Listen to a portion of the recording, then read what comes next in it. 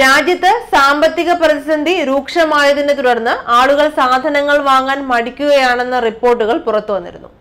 ഇതിനു പിന്നാലെയാണ് ഉപഭോക്താക്കൾ ഇല്ലാത്തിടത്ത് ഉൽപ്പന്നം വിൽപ്പനയ്ക്ക് വച്ചിട്ട് എന്ത് കാര്യമെന്ന് രാജ്യത്തെ പ്രമുഖ ബിസ്ക്കറ്റ് നിർമ്മാണ കമ്പനിയായ ബ്രിട്ടാനിയ ചോദിക്കുന്നത്. കമ്പനി പുതുതായി ആലോചിച്ചിരുന്ന ലോഞ്ചിങ്ങുകൾ വരെ വേണ്ടെന്ന് വച്ചിരിക്കുന്നതായി സൂചനയുണ്ട്.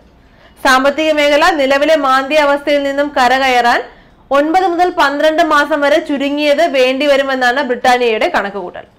നഗരപ്രദേശങ്ങളെക്കാളും സാമ്പത്തിക മാന്ദ്യം നേരിടുന്നത് ഗ്രാമീണ മേഖലകളെയാണ്. ചെലവ് ചുരുക്കലിന്റെ ഭാഗമായി ഗ്രാമപ്രദേശങ്ങളിലുള്ളവർ ബിസ്ക്കറ്റ് അടക്കമുള്ളവയാണ് ആദ്യപടിയായി വാങ്ങാതിരിക്കുന്നത്. ഇത് ബ്രിട്ടാനിയയെ അടക്കം ബിസ്ക്കറ്റ് കച്ചവടത്തെ സാരമായി ബാധിച്ചിരുന്നു. ഇത് മുൻനിർത്തിയാണ് പുതിയ ഉൽപ്പന്നങ്ങൾ അവതരിപ്പിക്കുന്നതിൽ നിന്നും കമ്പനി വിട്ടുനിൽക്കുന്നതെന്ന് എക്കണോമിക്സ് ടൈംസ് റിപ്പോർട്ട് ചെയ്തിട്ടുണ്ട്. ബ്രിട്ടാനിയ എം ഡി വരൺബെറിയുടെ വാക്കുകൾ ഇങ്ങനെയായിരുന്നു. ഞങ്ങൾക്കൊരു കൃത്യം കാൽക്കുലേഷനും കലണ്ടറുമുണ്ട്. മാന്ദ്യം തുടങ്ങിയപ്പോൾ മുതൽ പുതിയ ഉൽപ്പന്നങ്ങൾ വിപണിയിൽ ഇറക്കണ്ട എന്നും പുതിയ പ്രോഡക്റ്റ് ലോഞ്ചിങ്ങുകൾ മാറ്റിവെക്കാമെന്നുമാണ് കമ്പനി തീരുമാനം. കാരണം മാന്ദ്യത്തെ മറികടക്കാനുള്ള സർക്കാരിന്റെ പ്രാപ്തി കുറവ് ഞങ്ങൾ കാണുന്നുണ്ട്. അദ്ദേഹം സാമ്പത്തിക വിദഗ്ധരോടാണ് ഇപ്രകാരം പറഞ്ഞത്. പാൽ ബേക്കറി തുടങ്ങിയ ഉൽപ്പന്നങ്ങളും ബ്രിട്ടാനിയ ഇറക്കുന്നുണ്ട്.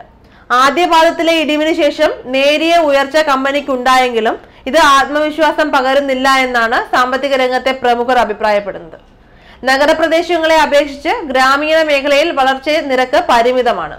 അതുകൊണ്ട് തന്നെയാണ് ഗ്രാമങ്ങൾ നേരിടുന്ന ഏറ്റവും വലിയ പ്രശ്നവും എന്നാണ് ബെറി അഭിപ്രായപ്പെട്ടത്. ഗ്രാമീണ മേഖലയിൽ പുതിയ ഔട്ട്ലെറ്റുകൾ ആരംഭിക്കാനുള്ള പദ്ധതിയും സാവധാനത്തിൽ മാത്രമേ പ്രാവർത്തികമാക്കൂ എന്നും അദ്ദേഹം കൂട്ടിച്ചേർത്തു. അഞ്ചു രൂപയുടെ ബിസ്ക്കറ്റ് വാങ്ങാൻ ആളുകൾ മടിക്കുകയാണെന്ന് ബ്രിട്ടാനിയ കമ്പനി നേരത്തെ വെളിപ്പെടുത്തിയിരുന്നു. സാമ്പത്തിക വർഷം ആദ്യ പാദത്തിലെ വിൽപ്പന കണക്കുകൾ ബ്രിട്ടാനിയ പുറത്തുവിട്ടപ്പോൾ നേരത്തെയുള്ള പാദങ്ങളെക്കാൾ വിൽപ്പന വളരെ താഴ്ന്ന നിലയിലായിരുന്നു. ഇത്രയും പ്രശ്നങ്ങൾ ഇവിടെ നടന്നുകൊണ്ടിരിക്കെ നമ്മുടെ കേന്ദ്ര സർക്കാർ വർണാഭമായ പത്ര തലക്കെട്ടുകളിലൂടെയും മീഡിയ കോലാഹലങ്ങളിലൂടെയും സാമ്പത്തിക വ്യവസ്ഥയെ നിയന്ത്രിക്കാൻ ശ്രമിക്കുന്നു എന്നതും ശ്രദ്ധേയമാണ്. പരിഹാരം കാണാതെ സമ്പദ് വ്യവസ്ഥയുടെ മോശം അവസ്ഥയെക്കുറിച്ച് സംസാരിക്കുന്നവരെയും കണക്ക് നിരത്തുന്നവരെയും ആക്രമിക്കുന്നതായും കാണാം. ഈ അവസ്ഥയ്ക്കാണ് മാറ്റം വരേണ്ടത്.